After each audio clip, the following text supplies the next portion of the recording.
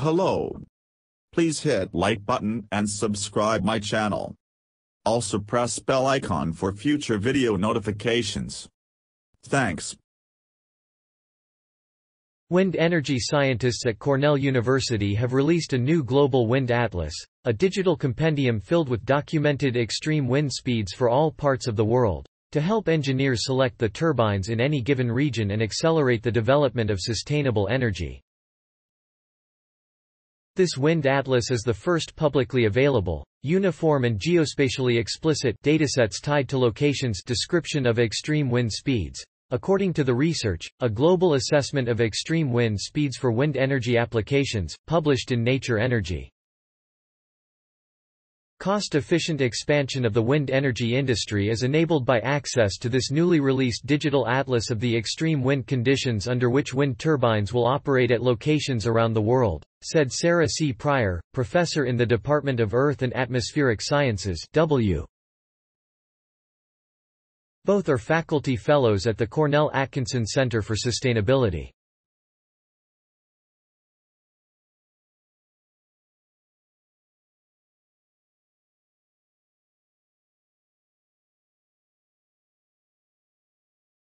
This kind of information will ensure the correct selection of wind turbines for specific deployment, Pryor said, and help ensure cost-efficient and dependable electricity generation from those turbines. Knowing extreme wind speeds is key to turbine design for cost-effectiveness, proper turbine. Before, in many locations, extreme wind load estimates on projects were uncertain due to limited on-site measurements.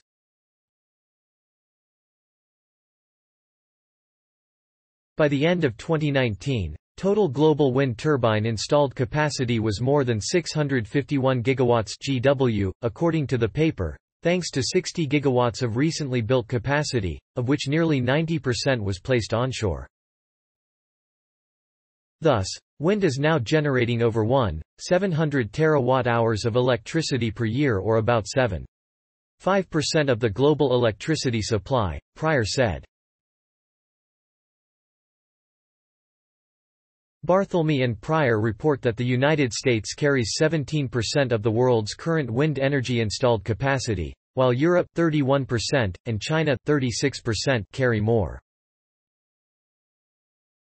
There are now wind turbines generating carbon-free electricity in more than 90 countries, Pryor said.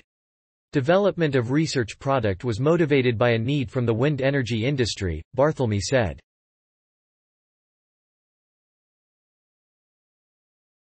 Quantifying extreme winds may also be useful in civil engineering applications and in structural reliability analyses for tall buildings and transportation systems, including long-span bridges, as well as for electricity generation and distribution.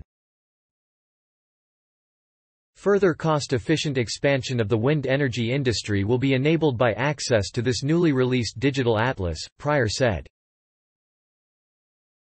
Funding for this research was provided by the U.S. Department of Energy grants to SC00164338 and to SC00166605, and was performed on the National Science Foundation's Extreme Science and Engineering Discovery Environment, XSEDE, Computational Resources Award, TGATM 170024.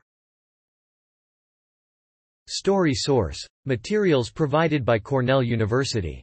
Original written by Blaine Friedlander. Note. Content may be edited for style and length. Please support my channel to grow by pressing subscribe button and the bell icon, we will notify you technological news. Thank you.